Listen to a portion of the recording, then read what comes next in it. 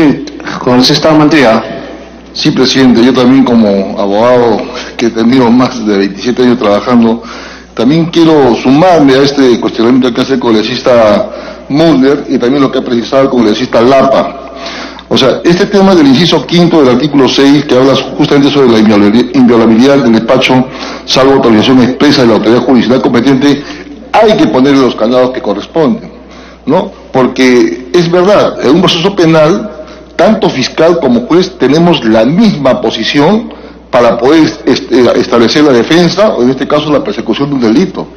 O sea, si nosotros, los abogados, vamos a estar expuestos a que el fiscal en cualquier momento recurra al juez y con un simple dicho o con un simple indicio pida la intervención de un estudio jurídico para violentar y encontrar de repente por ahí eh, alguna, algún elemento que me, que me perjudique en, mi estrategia de defensa, entonces vamos a estar expuestos a que el Ministerio Público esté por encima por encima del, ejercicio profesional de un abogado y de la propia defensa de los, de los, de los, de los patrocinados. Entonces yo, yo me atrevo, a, bueno, sugeriría acá, presidente, de que se ponga, ¿no? A la inviolabilidad de, su despacho, salvo autorización expresa de la autoridad judicial competente para casos específicos y siempre que existan fundados elementos de convicción.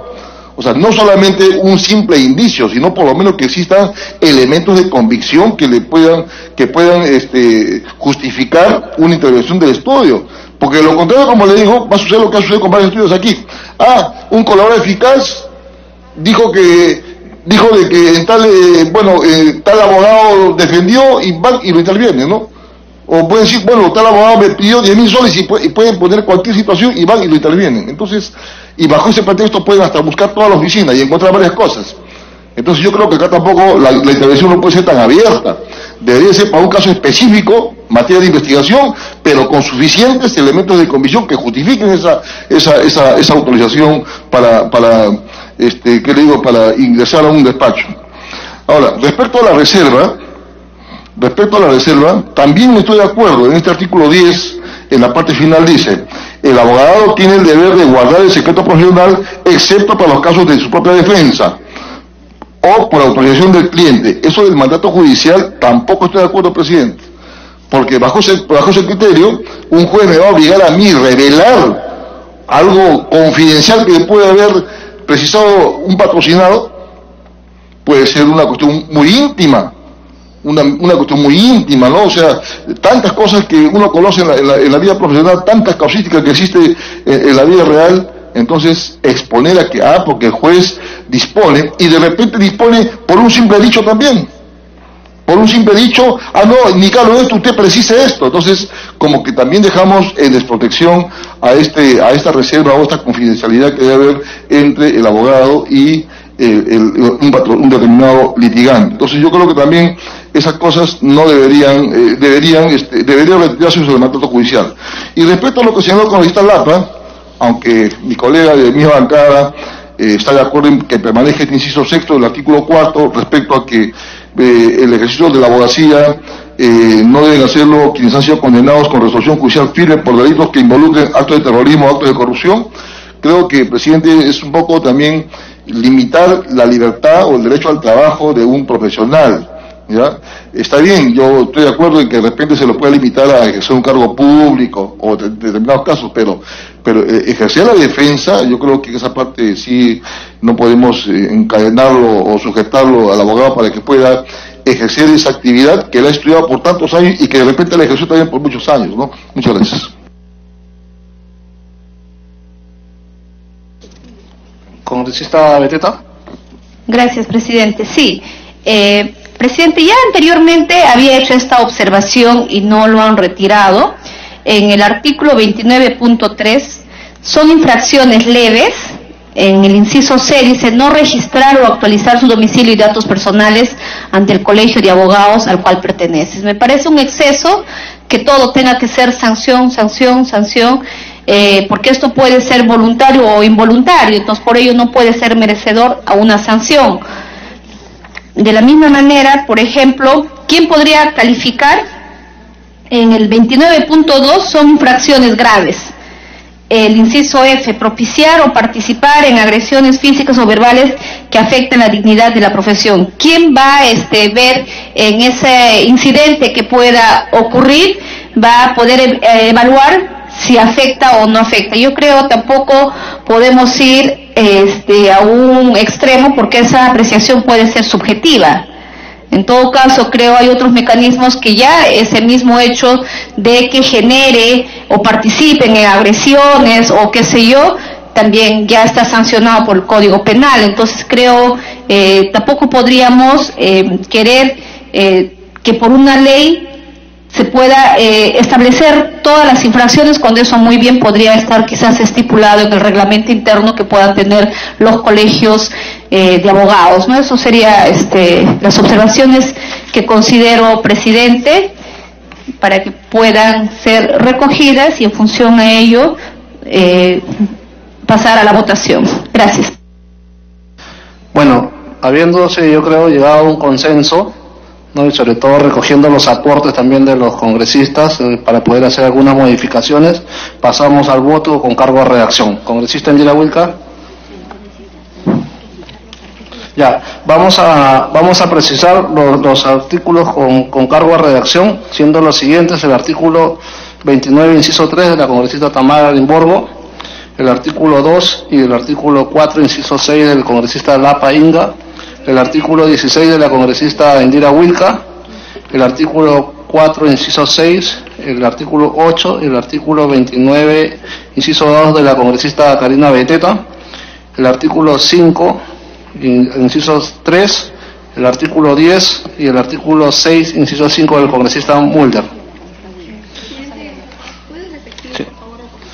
Sí. A ver, ya el congresista Lapa es el, el artículo 2 y el artículo 4, inciso 6. De la congresista Tamara Imborgo, el artículo 29, inciso 3. La congresista Wilca, el artículo 16 y 15.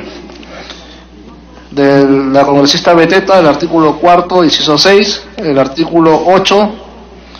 eh, el artículo 29, inciso 2 y el congresista Mulder el artículo 5, inciso 3, el artículo 10 y el artículo 6, inciso 5.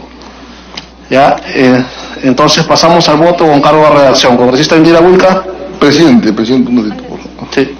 Sí, yo Congresista realidad, discúlpeme, yo soy secretario acá, pero no me parece tan correcto de que vayamos a votación simplemente mencionando que hemos recogido sugerencias, porque yo también he hecho sugerencias respecto al inciso quinto del artículo 6 y, la última parte del artículo 10, ¿ya? Pero no sabemos, no conocemos qué cosas lo que van a insertar en el nuevo texto. Entonces, este, creo que creo que no, creo que mejor esperemos que se haga la redacción para poder analizar si es correcto o no es correcto. Porque, y, además que este proyecto, presidente, necesita más debate. Por ejemplo, en, el inciso C del 29.2, perdón, inciso D del inciso 29.2, dice, es son infracciones graves. No hacer entrega de los documentos o bienes en virtud de la gestión encomendada o extraviarlos o deteriorarlos. O sea, supongamos que un patrocinado me dio un documento a mí y, sabe Dios, se me, se me extravió o se me deterioró un incendio o algo, por eso me van a sancionar. Entonces yo creo que esto, disculpe el presidente, pero creo, creo que en realidad merece más análisis, más debate para poder aprobar una ley tan importante para abogados. Este proyecto parece que lo ha hecho un ingeniero, un contador, no sé, pero no parece que, sea, que lo haya redactado un abogado, porque en realidad hay varias cosas que no cuadran con la profesión del abogado. Entonces, y tampoco, y menos podemos pues este, eh, llegar a votación con cargo a reacción. O sea, no, no, no, no me parece tan, tan correcto, presidente. Yo soy abogado, discúlpeme, pero yo, sinceramente, no me parece tan serio el día de hoy votar con cargo a reacción. Y es más, yo sugeriría que en todo caso haya una nueva sesión para analizar a más profundidad, porque hay varias cosas que hay que, cuestionar aquí. Congresista Matías, esta es la octava vez creo que estamos revisando ya este proyecto de ley y usted creo que viene la primera esta, esta sesión, ¿no? Yo creo que es momento de poder no ir al voto y en todo caso con cargo a redacción. Pasa al siguiente punto mientras me vaya redactando. Claro, no hay... Para que no lo manden a... Pero si estamos recogiendo los aportes de los señores congresistas, ¿qué más vamos a analizar? ¿Qué más vamos a esperar? Vamos al voto, por favor, congresista Indira Wilca. Pero que precise qué cambio. No, Ya esta es la octava sesión que estamos discutiendo, analizando. Congresista Beteta. Gracias, presidente. Presidente, entiendo que si bien es cierto ya hemos debatido este eh, dictamen, sin embargo han habido varios aportes y observaciones formuladas por diversos colegas congresistas. Entonces yo pediría, mientras vamos viendo otro proyecto, hoy en la misma sesión, puede la Secretaría Técnica recoger qué es lo que va este, aceptado y nos presente el texto y con eso usted da lectura y quizás con eso podemos este, subsanar las observaciones válidas que están haciendo los colegas congresistas. Para evitar eh, mayor dilación en este debate, presidente, yo plantearía que eh, nos puedan hacer entrega de eh, los aportes que se han manifestado y qué es lo que se va a cambiar, ¿no? Específicamente, qué es lo que están recogiendo para tener un nuevo texto y en función a eso, eh, de manera informada, someter a votación. Gracias. Congresista Beteta, eh, son 12 proyectos que tenemos en la agenda. Si nos quedamos hasta poder discutir ¿no? y aprobar o desaprobar los proyectos de ley, si nos comprometemos en todo caso a ver los 12 proyectos, lo hacemos. Pero yo creo que hemos ya tenido suficiente tiempo como para poder uno revisar este proyecto de ley. Al final lo vamos a aprobar y esto todavía se va a tener que discutir en el Pleno. Congresista Mulder. Usted tiene razón, presidente, pero eh, usted nos tiene que avisar y si ha recogido o no alguna de las atingencias que han habido en el debate de hoy día. No se puede votar así nomás si no sabemos. Si usted dice, en el, lo normal antes de votar es que usted diga, en el artículo 7 va a quedar de esta manera, en el artículo 9 tal otra, en el artículo 10 no se puede recoger por tal razón. Entonces ya uno sabe lo que va a votar, pero si usted no ha anunciado que ha recogido nada, ¿cómo se puede votar? Congresista Mulder, lo que pasa es que justamente usted salió hace un momento y yo precisé no los artículos que cada uno de los congresistas habían solicitado mencioné en su caso de usted era el artículo 5, inciso 3, el artículo 10 y el artículo 6, inciso 5, para poder hacer la respectiva modificación. E igual se hizo con los demás congresistas, ¿no? Entonces yo creo que dilatar más el tema ya no es justo. Pasemos al voto con cargo de redacción de acuerdo a los aportes que ustedes han dado en su momento. Ya, muchas gracias. Ya, congresista Tamara. Eh, presidente, respecto a, sus precisiones, por ejemplo, cuando el congresista Lapa pidió que se retire el artículo, eh, el, inciso 6, el artículo cuarto, eh, respecto no haber sido condenado con resolución judicial firme por delitos que involucren actos de terrorismo o actos de corrupción, yo considero, presidente, que eso es positivo, toda vez que se han, cumplido condena por terrorismo, como el caso de Marta Batalla, ya no podrán ejercer la profesión de abogado. Entonces, en este caso, yo sugiero, presidente, que se pueda votar por separado, al menos en ese articulado.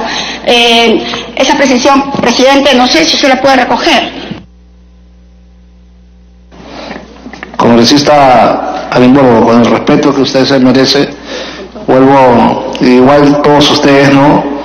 Yo creo que debemos de votar de una vez. Este proyecto de ley todavía se va a discutir en el Pleno. ¿Cuál es el problema?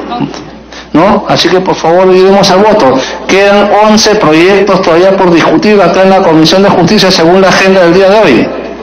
Congresista sea. Gracias, presidente. Le pediría si por favor la Secretaría Técnica le pueda dar lectura a los cambios que se estarían proponiendo para poder ir al voto. Eh, me pido una interrupción a la congresista de Teta. Gracias, presidente. Presidente, sí, en el artículo 4 eh, se ha pedido tanto en el cambio en el inciso 4 como en el inciso 6, justamente la que está haciendo la observación la congresista Tamara Arimborgo, en el sentido que nos tienen que decir cómo finalmente va a quedar eh, ese inciso no haber sido condenado con resolución judicial firme por delitos que involucren actos de terrorismo y yo le he pedido y o delitos de corrupción y no o actos de corrupción. Entonces, en ese sentido, si no hay, eh, digamos, consenso, lo que tendría que someter a votación esa parte de manera al pedido del congresista Lapa y el pedido de la congresista Arimborgo. Bueno, ha pasado más de una hora ya, justamente discutiendo ya el, el primer proyecto de la agenda, ¿no? Estamos recogiendo los aportes de cada congresista, son varios artículos, por eso que les he solicitado que por favor ir al voto con cargo a redacción. Hemos recogido los diferentes aportes de cada uno. Pasamos al voto, congresista Indira Wilca. Con cargo de redacción, a favor. Congresista Limborgo. Congresista Beteta.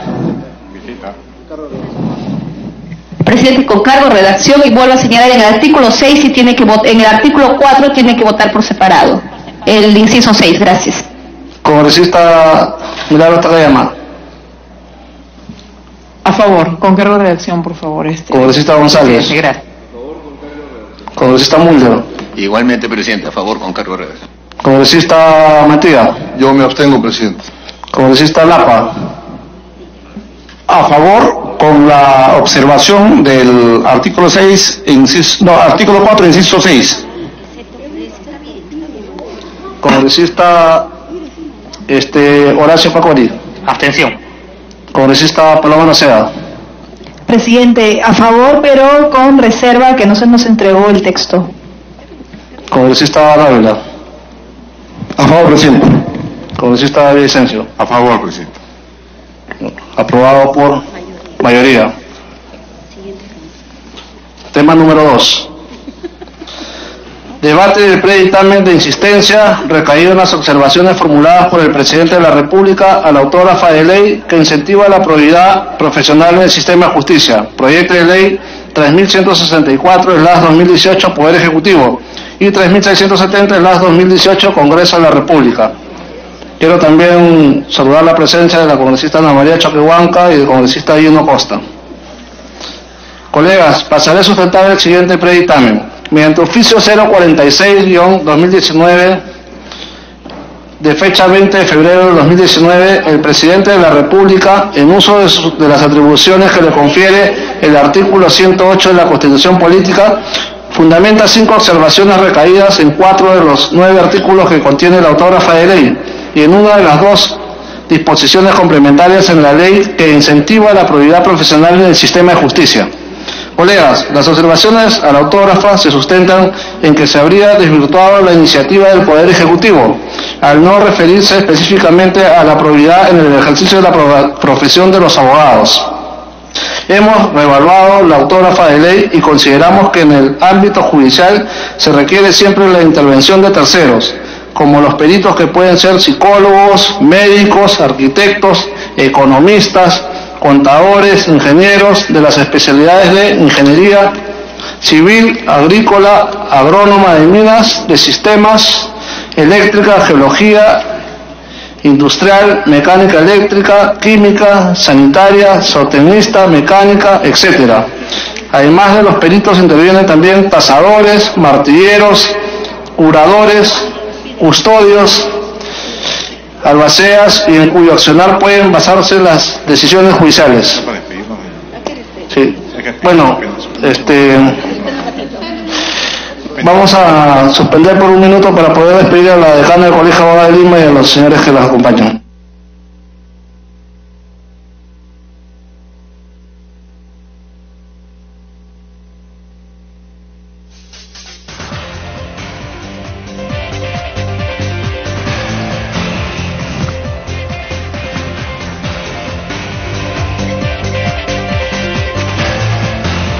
Bien, son las 4 de la tarde con 15 minutos. He hecho un pequeño receso para que pueda la decana del Colegio de Abogados de Lima retirarse del recinto, hemiciclo Raúl Porras Barrenechea, donde se viene llevando a cabo esta sesión de la Comisión de Justicia y Derechos Humanos que preside el legislador Alberto Oliva Corrales. He llegado hasta el hemiciclo principal con un grupo de eh, funcionarios y también de personajes precisamente para ver de cerca lo relacionado a la evaluación de los avances de la implementación de la ley orgánica de la Junta Nacional de Justicia y otros temas que viene tratando precisamente este grupo de trabajo. Son las 4 de la tarde con Siguiendo con la sesión, Escuchamos. las primeras dos observaciones se basan en el objeto y el ámbito de aplicación de la ley. La tercera observación está referida al contenido mínimo en ética y responsabilidad profesional del abogado en los programas de pre y posgrado o en los programas académicos de la Academia de la Magistratura. La cuarta observación señala que no se habría previsto en la agravante del delito al bachiller de Derecho. Y la última observación está referida al registro de sanciones por mala práctica profesional. Consideramos que la redacción propuesta por la autógrafa incluye a los bachilleres de cualquier profesión, toda vez que los bachilleres, según la ley universitaria, son el primer grado que se obtiene de una profesión. La autógrafa de ley señala en el artículo 46A del Código Penal que se propone en el ejercicio de su especialidad o profesión, por ende, están incluidos los bachilleres y los profesionales. Esta ley no es la norma adecuada para establecer las sanciones y responsabilidades de los profesionales y que son los respectivos colegios los que deben de establecerlas, pues se rigen por normas internas, tal como se establece en el dictamen de la ley de la abogacía peruana, que en seis artículos regula e incluso se encarga de las infracciones a la ética. Finalmente, consideramos que las observaciones presentadas por el Poder Ejecutivo no tienen un sustento que haga variar nuestra posición inicial. Por ello, propongo que la Comisión insista en el texto de la autógrafa de ley. Por lo tanto, se abre el debate para que los congresistas que puedan, quieran hacer el uso de la palabra en este momento, puedan expresar sus opiniones. Bueno, no habiendo más intervención, no habiendo intervención de los señores congresistas, pasamos al voto. Congresista Tamara Limborgo, a favor, congresista Beteta, a favor, congresista Milagros Takayama, a favor, congresista González, a favor, congresista Horacio Macori, a favor, congresista Paloma Noceda, a favor, congresista Dávila, a favor, congresista Villavicencio, favor. aprobado por unanimidad. Ya. Pasamos al punto número 4. Sí, está bien. Ya. Debate del predictamen recaído en los proyectos de ley 3.213 las 2018 al Congreso de la República y 3.250 las 2018 al Congreso de la República, que propone modificar el Código Penal respecto de lesiones graves. Colegas, pasaré a sustentar el siguiente predictamen. Estos proyectos de ley presentados por los congresistas Segundo Tapia y Modesto Figueroa buscan modificar el Código Penal en el delito de lesiones graves infringidas a una mujer en su condición de tal que le causa la muerte. La necesidad de hacer más severas las sanciones a quienes causan lesiones graves a las mujeres se sustenta en la alarmante cifra de 1.195 feminicidios en los últimos 10 años, según la información proporcionada por el Ministerio de la Mujer y Poblaciones Vulnerables. Tenemos que solo en el mes de enero de 2019 se registraron 14.491 casos de violencia familiar y sexual, siendo este porcentaje de víctimas mujeres el 87%, mayor al registrado en el mismo periodo del año 2018 que era 85%, mientras que el porcentaje de hombres víctimas es del 13%, es menor al registrado en el mismo periodo del año 2018, que era el 15%. Con las propuestas legislativas se presenta una alta probabilidad de garantizar de modo más adecuado los derechos fundamentales y los bienes jurídicos constitucionalmente protegidos de las víctimas de estos delitos. Luego de evaluar las opiniones recibidas, considero que ambas propuestas son atendibles y necesarias y planteo un texto sustitutorio donde se modifican tanto el artículo 121 y el, el artículo 121b del Código Penal. No sería necesario crear un nuevo artículo, puesto que ya existe este tipo penal de lesiones graves a mujeres. En el sentido, corresponde que se modifique el artículo 121b para incluir los supuestos seguidos de muerte, tal como lo propone el proyecto de ley 3213-2018 Congreso de la República. Se abre el debate para que los señores congresistas que quieran hacer uso de la palabra lo puedan hacer en este momento. No habiendo intervenciones, pasamos al voto. Congresista Arimborgo. A favor. Congresista Beteta. Abstención, presidente. Congresista Milagros Takayama. A favor. Congresista González, a favor. Congresista Gracia Pacori. A favor. Congresista Paloma Noceda. A A favor, congresista Sergio Dávila. A favor, congresista Francisco Villavicencio. A favor. favor, aprobado por mayoría. Pasamos al siguiente punto. Debate del predictamen recaído en, el proye- en los proyectos de ley 841-2016, Ministerio Público y 3489-2018, Congreso de la República, que propone la ley que modifica el Código Penal y Código Procesal Penal respecto a la admisión de asistencia familiar. Colegas, pasaré a sustentar el siguiente predictamen. El predictamen acumula el proyecto de ley 841 presentado por el Ministerio Público que propone modificar el numeral 6 del artículo 2 del Código Procesal Penal sobre incorporar al principio de oportunidad el artículo 149, primer y segundo párrafo, referido a la omisión de asistencia familiar, con el proyecto de ley 3489 presentado por la congresista Ana María Choquehuanca de Villanueva, que propone la incorporación del artículo 152b del Código Penal, Decreto Legislativo 635, respecto a la conversión de la pena privativa de libertad para los procesos de omisión de asistencia familiar previsto en el artículo 149 del Código Penal. La propuesta de este texto sustitutorio que planteamos propone aplicar el principio de oportunidad al deudor alimentario, quien tendrá la posibilidad de trabajar y poder cumplir con todas sus obligaciones alimentarias pactadas, y de ese modo ninguno de sus alimentistas dejen de percibir la pensión que le corresponde. Por otro lado, se propone que a quienes se les haya revocado la conversión de la pena privativa de libertad por el delito de omisión de asistencia familiar y que a su vez hayan cancelado el íntero de la reparación civil y la deuda alimentaria impaga, recuperarán su libertad de manera inmediata. Se ha tenido en consideración que esta norma contribuiría al descongestionamiento de las cárceles de nuestro país y a la sobrecarga de procesos penales por el delito de omisión de asistencia familiar. Así los condenados podrían salir en libertad para cubrir sus obligaciones pasadas, presentes y futuras en beneficio de sus alimentistas. Por lo tanto, se agarre la, el debate para que en todo caso puedan intervenir los señores congresistas. Tiene el uso de la palabra el congresista Choquehuanca. Muchas gracias, presidente.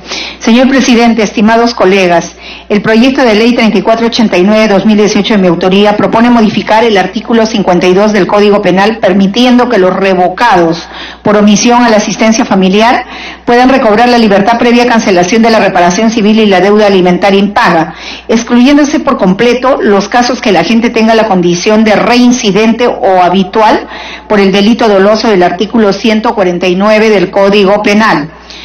Según datos del Poder Judicial, presidente, el 50% de la carga procesal en los procesos penales corresponde al delito de omisión a la asistencia familiar, por lo que resulta necesaria su descarga para concentrar el aparato estatal en casos de mayor gravedad social. Con esta medida se busca, por un lado, reducir la sobrecarga procesal de los operadores de justicia. Por otro lado, descongestionar las cárceles de nuestro país, que actualmente se encuentran con un alto índice de condenados por este delito. Y si ellos pueden salir en libertad, podrían cubrir, además, y creo que eso es lo más importante, sus obligaciones alimentarias pasadas, presentes y futuras en beneficio de todos sus hijos alimentistas que en muchas ocasiones se encuentran en situación de abandono. En este sentido, con la presente norma se busca optimizar la administración de justicia y principalmente esta disposición beneficiará a los grupos de las poblaciones más vulnerables del país y hará que los procesos sean justos y oportunos en los procesos de alimentos en la sede judicial. En función a ello, señor presidente, solicito a cada uno de mis colegas apoyar con su voto esta iniciativa, tomando en consideración que la vida carcelaria en nuestro sistema muchas veces no permite una adecuada resocialización. Muchas gracias, presidente. Bueno, no habiendo más intervenciones, siendo un proyecto muy importante, sobre todo para poder ayudar a la población más vulnerable, pasamos al voto. Congresista Tamara Limborgo, a favor. Congresista Beteta, a favor. Congresista Takayama, Congresista González, favor. Congresista Horacio Pacori, favor. Congresista Paloma Naceda, a favor. Congresista Dávila, favor. Congresista Villavicencio, a favor. Favor, aprobado por mayoría. Pasamos al siguiente predictamen. Debate del predictamen recaído en el proyecto de ley. A ver, un momento. Ya, pasamos al siguiente predictamen. Debate del predictamen recaído en el proyecto de ley 878, el AS 2016, Congreso de la República, que propone, mediante un texto sustitutorio, la ley por la que se modifica el Código Procesal Civil respecto a los deberes de los jueces en el proceso. Colegas, pasaré a sustentar el siguiente proyecto de ley. El proyecto de ley 878 presentado por el congresista Persia Calá, que propone modificar el numeral 3 del artículo 50 del Código Procesal, Pe- Pe- perdón, Código Procesal Civil para acelerar la atención de los procesos judiciales de acuerdo a la fecha de ingreso a mesa de partes, se busca que los actos procesales y la emisión de resoluciones sean atendidas por el juez según en el orden y fechas en que se han presentado los casos, salvo prelación legal u otra causa justificada.